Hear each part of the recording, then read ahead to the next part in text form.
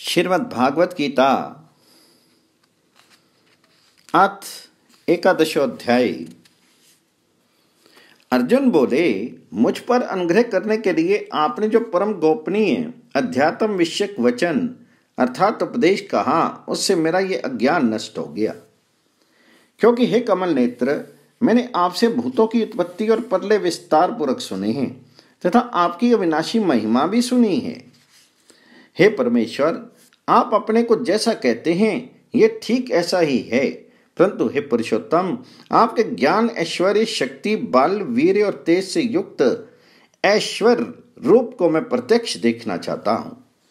हे प्रभु, यदि मेरे द्वारा आपका वह रूप देखा जाना शक्य है, ऐसा आप मानते हैं तो हे योगेश्वर, उस अविनाशी स्वरूप का मुझे दर्शन कराइए। तब भगवान जी बोले, हे पार्थ अब तो मेरे सैकड़ों हज़ारों नाना प्रकार के तथा नाना वरण तथा नाना आकृति वाले अलौकिक रूप को देख।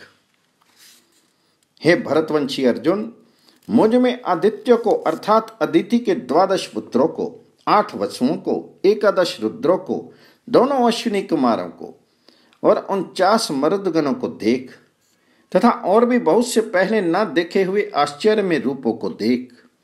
हे अर्जुन अब इस मेरे शीर में एक जगह स्थित चराचर सहित संपूर्ण जगत को देख, तथा और भी जो कुछ देखना चाहता है, सो देख।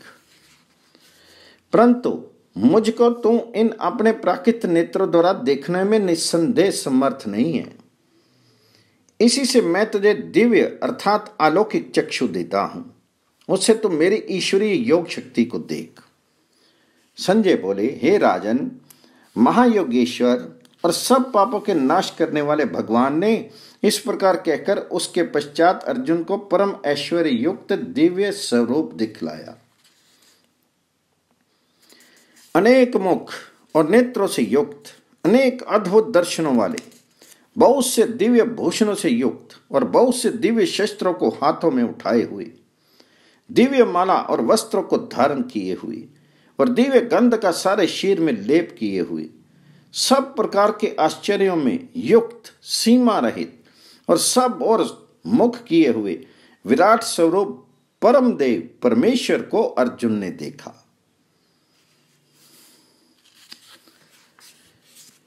आकाश में हज़ार सूर्यों के एक साथ उदय होने से उत्पन्न जो प्रकाश हो वह भी उस विश्व रूप परमात्मा के प्रकाश के सदृश कदाचित ही हो।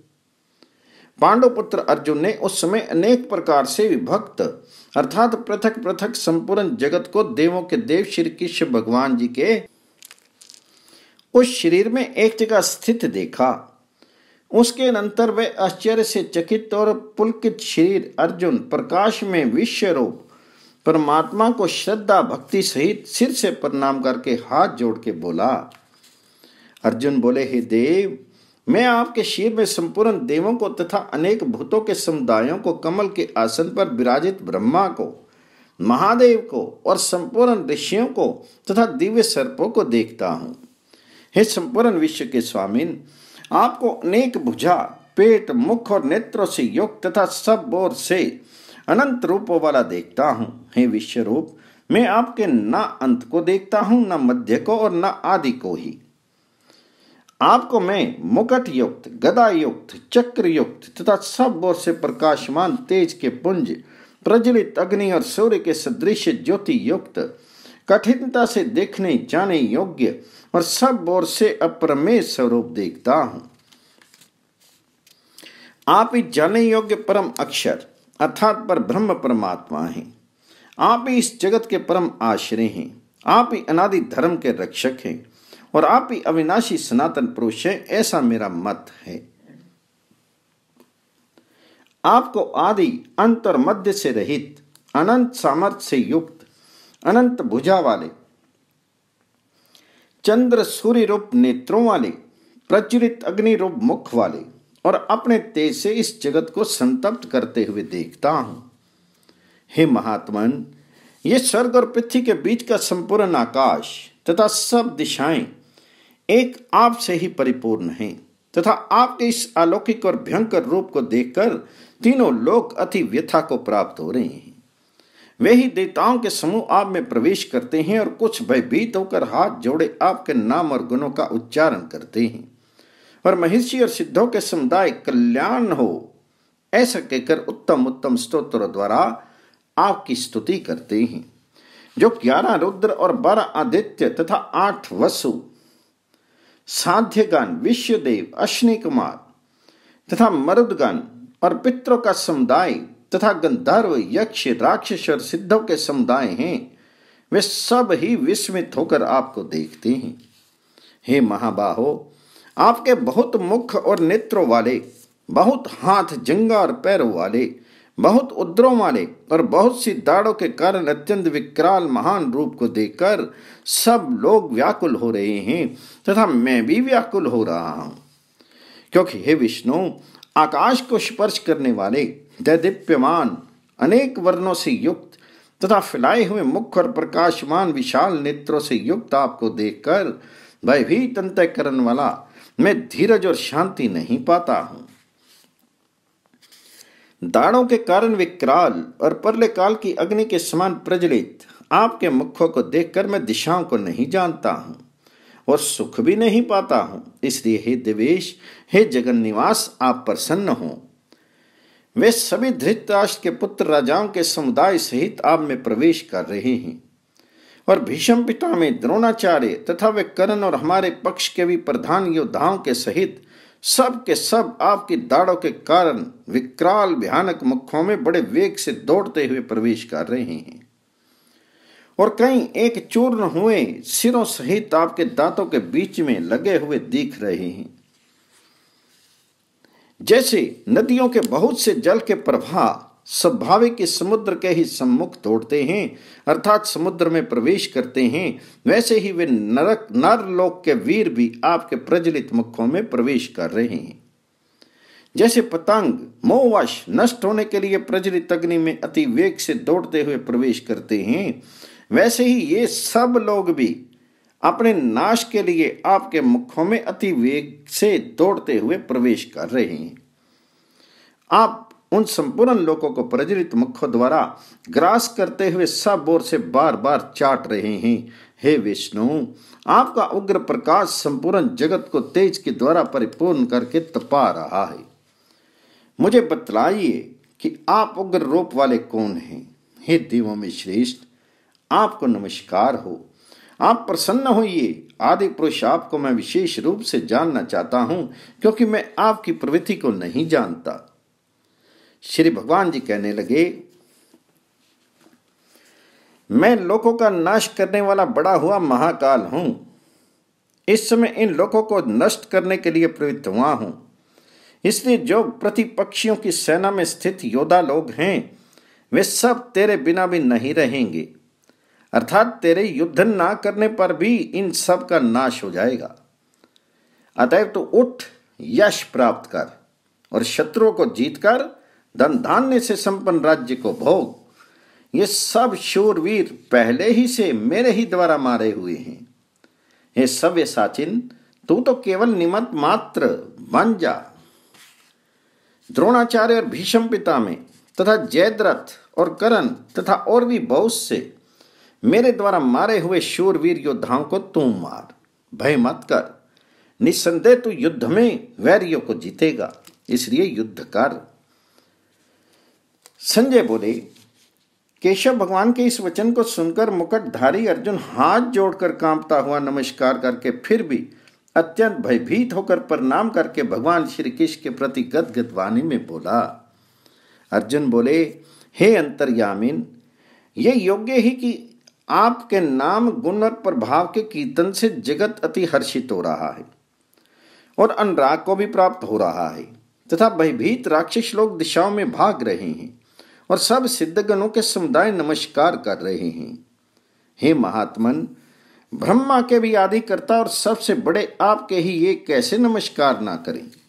क्योंकि हे नंद, हे द्वेश हे जगन निवास जो सत असत और उससे परे अक्षर, अर्थात सचिदानंद घन ब्रह्म है, वे आप ही हैं। आप आदिदेव और सनातन पुरुष हैं।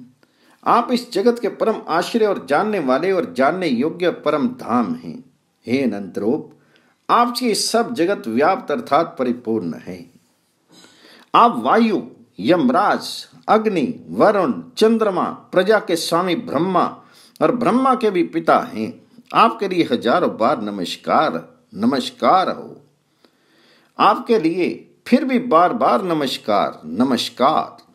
हे अनंत सामर्थ्य वाले आपके लिए आगे से और पीछे से भी नमस्कार। हे सर्वात्मन, आपके लिए सब और से ही नमस्कार हो, क्योंकि अनंत महाप्रक्रमशाली आप सब संसार को व्याप्त किए हुए हैं, इससे आप इस सर्वरूप हैं।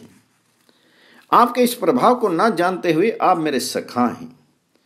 ऐसा मानकर प्रेम से अथवा प्रमाद से भी मैंने, हे कृष्ण, हे यादव, हे सखे इस प्रकार जो कुछ बिना सोचे समझे हठात कहा है। और हे अच्युत, आप जो मेरे द्वारा विनोद के लिए विहार, शैया, आसन और भोजन आदि में अकेले अथवा उन सखाओं के सामने भी अपमानित किए गए हैं, वे सब अपराध, अप्रमेय स्वरूप अर्थात अचिंत्य प्रभाव वाले आपसे मैं क्षमा करवाता हूँ। आप इस चराचर जगत के पिता और सबसे बड़े गुरु एवं अति पूजनीय हैं। हे अनुपम प्रभाव वाले, तीनों लोकों में आपके समान भी दूसरा कोई नहीं है। फिर अधिक तो कैसे हो सकता है? अतः हे प्रभु, मैं शीर को भली भांति चरणों में निवेदित कर, प्रणाम करके स्तुति करने योग्य आप ईश्वर को प्रसन्न होने के लिए प्रार्थना करता हूँ। हे देव, पिता जैसे पुत्र के, सखा जैसे सखा के और पति जैसे प्रीतमा पत्नी के अपराध सहन करते हैं, वैसे ही आप भी मेरे अपराध को सहन करने योग्य हैं। मैं पहले न देखे हुए आपके इस आश्चर्य में रूप को देखकर हर्षित हो रहा हूँ और मेरा मन भय से अति व्याकुल हो भी हो रहा है। इसलिए आप उस अपने चतुर्भुज विष्णु रूप को ही मुझे दिखाइए। हे देवेश, हे जगन्निवास, प्रसन्न होइए। मैं वैसे ही आपको मुकुट धारण किए हुए तथा गदा और चक्र हाथ में लिए हुए देखना चाहता हूँ। इसलिए हे विश्व स्वरूप, हे शस्त्र बाहु आप उसी चतुर्भुज रूप से प्रकट होइए। श्री भगवान जी बोले, हे अर्जुन अनुग्रह पूर्वक मैंने अपनी योग शक्ति के प्रभाव से ये मेरा परम तेजों में सबका आदि और सीमा रहित विराट रूप तुझको दिखलाया है। जिसे तेरे अतिरिक्त दूसरे किसी ने पहले नहीं देखा था। हे अर्जुन, मनुष्य लोक में इस प्रकार विश्व रूप वाला मैं, ना वेद और यज्ञों के अध्ययन से, न दान से, न क्रियाओं से और न उग्र तपों से ही तेरे अतिरिक्त दूसरे के द्वारा देखा जा सकता है। मेरे इस प्रकार के इस विकराल रूप को देखकर तुझको व्याकुलता नहीं होनी चाहिए और मूड भाव भी नहीं होना चाहिए। तो भय रहित और प्रीति युक्त मन वाला होकर उसी मेरे इस शंख चक्र गदा पदम युक्त चतुर्भुज रूप को फिर देख।